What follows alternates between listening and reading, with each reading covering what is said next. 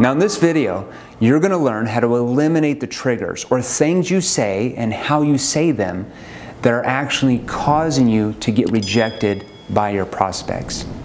Now let's take a look at the cause of rejection real quick. Because before we can start really looking at seven-figure sales training as a possible solution, wouldn't you agree that it's important to really explore and identify the cause of the problem in the first place. Why is that? Because once we understand what's causing us to get rejected, it will give you a better idea of what you can do about it to eliminate those triggers that are causing the issue. Let me ask you, is it true, and be honest, that most salespeople bring up their solution or tell people how they can help them far too early when they're talking to their prospects? And then what happens? They get turned down, they get rejected. Right? So if you are getting rejected, who's actually causing that? Well, of course, you are. You see, traditional selling has trained us to bring up how we can help our prospects far too early when we're talking to them, which automatically triggers our prospects to reject us because we don't explore what's behind their problems. We don't even spend enough time finding out what's causing those problems, and more importantly, how it's affecting them personally. We all have our opinions and answers about things, and we all think ours is the right one for everyone else. Just think about your political beliefs or your religious beliefs. We all think we're right. So we quickly come up with our solutions to our prospects' problems as we interpret them based on our own experiences. Here's the problem with that though.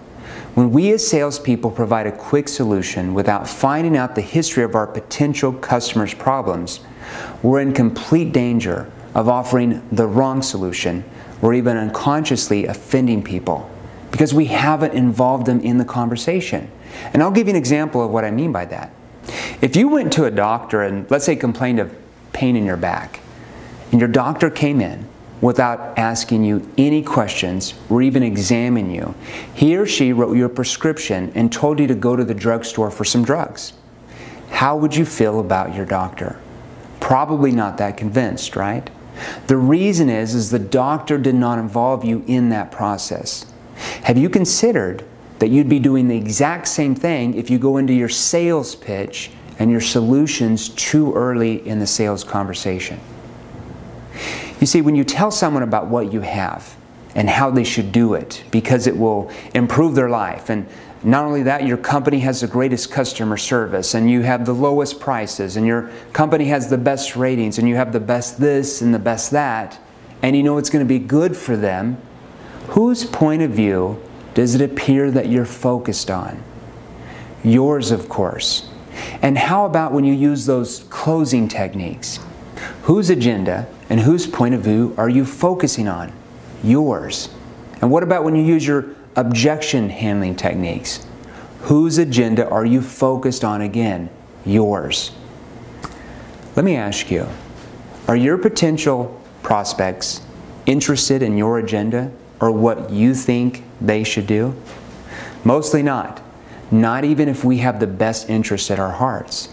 How many times have you seen someone close to you have great need of your product or service that you sell, but they won't even listen to you because you've told them what they should do. Why is that? Because most people are not interested in being told or persuaded that you have the right solution for them.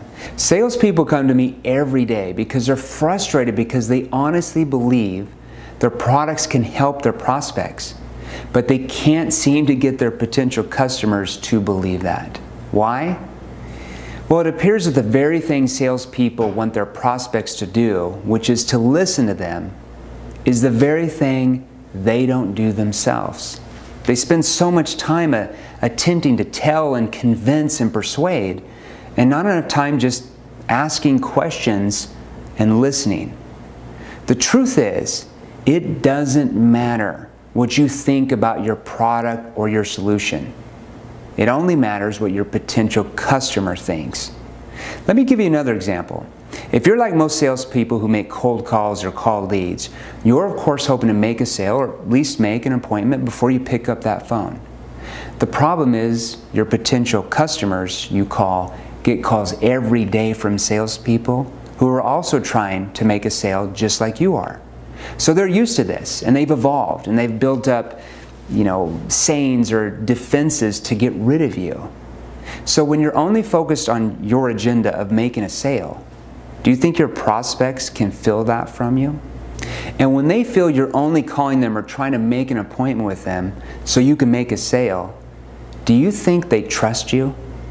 What do they usually do 95% of the time? They say, I'm not interested, we don't need that, we don't have the budget for that, we already have that service, I'm too busy to talk right now, let me think it over, let me talk to my partners, let me talk to my spouse, can you call me back next week, next month, next year? But how do you think your potential customers would feel if you called them and you weren't really focusing on making the sale, but instead you were focused on whether there was a sale to be made in the first place. And you detach yourself from the expectations of even making a sale. Do you think they would be more open to you? Do you think they'd be more honest with you? Do you think they would trust you more? You bet they would. Why? Because you're different than every salesperson they probably ever talked with. So try this.